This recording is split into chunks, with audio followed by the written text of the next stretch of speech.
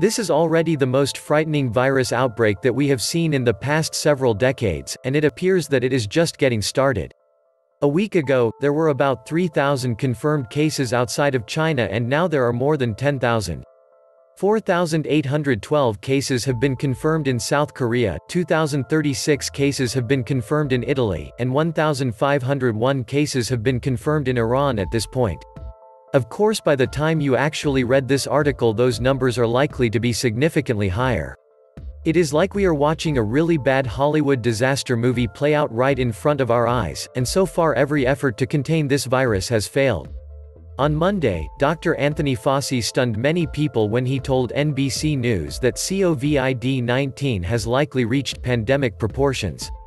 News of the additional deaths came after Dr. Anthony Fauci, the head of the National Institute of Allergy and Infectious Diseases, told NBC News on Monday that the disease had likely reached pandemic proportions as 100 cases were confirmed across the U.S. We're dealing with an evolving situation. We're dealing with clearly an emerging infectious disease that has now reached outbreak proportions and likely pandemic proportions, Dr. Fauci said.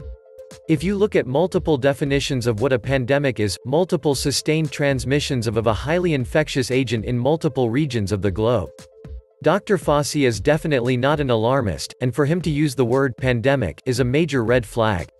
Last week a lot of people were pointing out that not a single American had died from this virus yet, but now six victims have died in the state of Washington alone. Four more people have died of the coronavirus in Washington state, raising the death toll in the state and the nation to six, health officials said Monday. Jeffrey Duchin, a health officer in King County and Seattle, said at a news conference Monday that five of the deaths were people from King County and one was from Snohomish County, north of Seattle. If you live in the Seattle area, you need to understand that you are in the middle of a crisis zone. As I discussed yesterday, it is likely that the virus has been circulating in that region for weeks, and each day the number of potential carriers will only get higher. At this point, local officials are specifically warning everyone to avoid crowded settings if possible. To increase your chances of staying healthy, avoid crowded settings if possible, King County Public Health said on Twitter. Especially if you are over 60, or have other chronic health conditions such as diabetes, heart disease, lung disease, or a weakened immune system. There's particular concern about the spread of the virus in nursing homes. One such facility, Life Care Center in Kirkland, Washington, said in a statement that one of its residents and one of its associates have been diagnosed with COVID-19. The center is banning visitors for now. And this doesn't mean that you will need to change your behavior for a few days or even a few weeks. At a minimum, if you live in the Seattle area you are going to want to avoid crowded settings for the next several months. Of course it is just a matter of time before other major cities are facing similar outbreaks. In recent days the number of states with confirmed cases has grown quite a bit larger. Arizona 1. California 20. Florida 2. Illinois 4. Massachusetts 1. New York 1. Oregon 3. Rhode Island 2. Washington State 18 includes 6 fatalities. Wisconsin 1. Unfortunately, this list probably only represents the very small tip of a very large iceberg. Up until just recently, the CDC was mandating that the only people that should be tested are those that have traveled to China or those that have had close contact with a known victim. By using such restrictive criteria, the number of Americans being tested was kept extremely low, and a lot of infected people slipped through the cracks. Now this virus has escaped containment, and authorities are telling us that community spread is inevitable all over the United States. Meanwhile, COVID-19 continues to sweep across much of the rest of the planet like wildfire. In Iran, the fact that a top advisor to Ayatollah Ali Khamenei just died from the virus made headlines all over the globe. An advisor to Iran's supreme leader Ayatollah Ali Khamenei has died of coronavirus, state media reported today. Mohammad Mirmohammadi, 71, died in hospital in Tehran as the pariah nation reels from a worsening outbreak that has left several senior officials in hospital.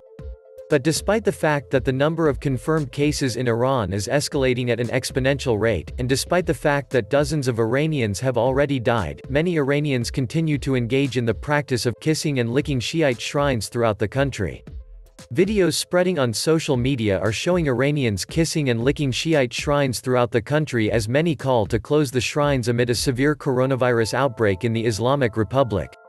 The epicenter of the outbreak in Iran, Qom, is a religious city home to several shrines. The shrines remain open as some reports place the death toll in Iran in the hundreds. Can you believe that? We live at a time when it seems like much of the world has gone nuts. Most people believe whatever they feel like believing, and most people do whatever they feel like doing. But there are always consequences for our actions, and I have a feeling that this virus is going to spread particularly rapidly in the Middle East. Here in the United States, it appears that this outbreak is far more extensive than we are being told. As the US starts to finally ramp up testing, it is inevitable that a lot more existing cases will be found. In fact, in just a little while I will be posting an article on End of the American Dream about an ER doctor in New York that is claiming that there is going to be thousands of confirmed cases inside this country by next week.